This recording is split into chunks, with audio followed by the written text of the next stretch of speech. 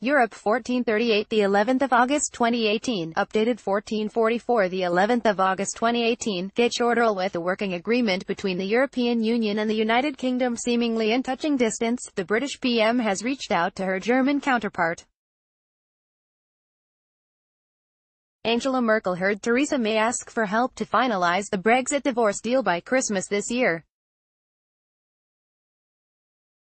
Last week, the German Chancellor confirmed that Berlin will continue working until the end to see an agreement established between Britain and the European bloc. We have common interests, we want an agreement. We know that, we still have work to do. The sooner this happens, the better, but we will make an effort until the last moment for the agreement to happen, Mrs. Merkel said last week, given that the Chancellor previously indicated it was in Germany's interests, as well as London's, to avoid a hard Brexit deal, Merkel may react positively to May's latest appeal. Downing Street is trying to settle the remaining 5% of the deal to trigger a deal-making summit later this month. With 95% of the Brexit withdrawal agreement done and dusted, according to Mrs. May, the UK government is still faced with the challenge of resolving the Irish backstop issue.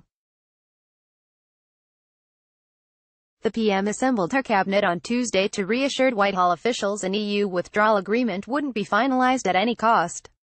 Ministers are expected to thrash out details of the proposal, which would enable Britain leaving a temporary customs arrangement with the EU without being forced to accept a border down the Irish Sea. Copyright AP photo, Matt Dunham British Prime Minister Theresa May addresses the press in Downing Street, London, Friday, June 9, 2017 following an audience with Britain's Queen Elizabeth II at Buckingham Palace where she asked to form a government. Ireland's foreign minister on Thursday warned the public against having great expectations on the resolution of the Brexit deal stalemate. Let me just say this in terms of commentary today, particularly in British media, I would urge caution that an imminent breakthrough is not necessarily to be taken for granted, not by a long shot, Irish FM Simon Coveney told a conference. His British counterpart, Jeremy Hunt, similarly suggested on Thursday that it was probably pushing it to expect a Brexit deal within the next seven days.